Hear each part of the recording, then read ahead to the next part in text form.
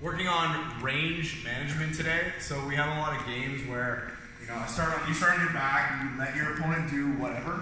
We're kind of doing the opposite today, where I'm making sure I'm controlling range from the furthest distance possible. So I don't want to give Sean anything, and I'm going to manage that by largely, like we normally do, framing the leading edge, but combining with that, managing like the hand fight and considering like the hands as part of the leading edge or the head. So if the head comes forward, I'm pushing his head off the center line and hip escaping. All right, I'm maintaining control of his hands, preventing him from controlling me. All right. So then from that point, we really want to recognize where we're safe in range and where we have the advantage and where our opponent has the advantage. Like right now, if I don't have control of his hands, Sean has the advantage. He's really close to me. He has more mobility because he's standing.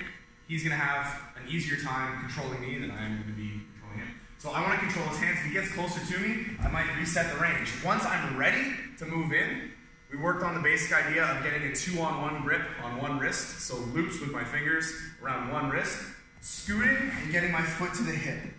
All right, so moving into usually a tripod variation, elbows are tight to me and I'm using my leg, so this leg press back and forth to manage the range between us. I'm breaking his alignment and really opening up his structure by keeping my elbows closed and pushing with my foot.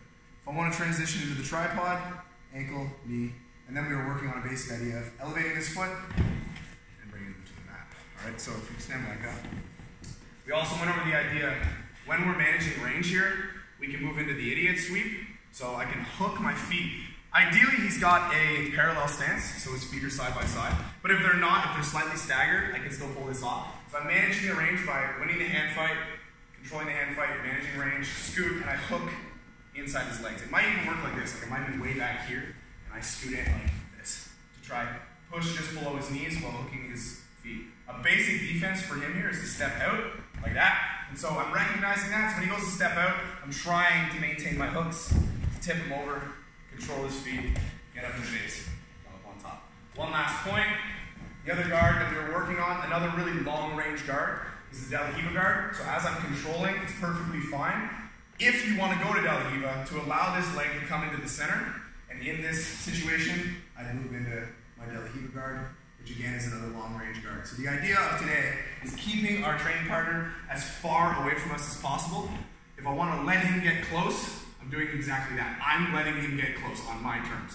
If he moves forward, it's like, no, you're not going to choose what you want to do. And when I want to, I'm going to move into the guard I want to move into. If I don't feel good here, I'm pushing you back, I'm resetting, and managing that range where I'm completely safe.